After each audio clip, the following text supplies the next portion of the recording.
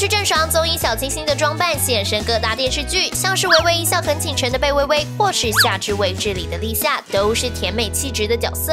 在实境节目花儿与少年中，郑爽几乎是以素颜现身，很多时候头发就这样随意披着，连新书发表会时也是一副休闲装扮，在粉丝面前做真实的自己。相较其他女明星，郑爽可以说是一股清流。最近郑爽参演首部谍战剧绝密者，这次饰演美艳的双面特工，总不能再以。素颜现身，于是利落的眉毛、鲜艳的口红，统统涂到脸上了。踩着小黑靴，穿着黑色大衣，哇，这是郑爽吗？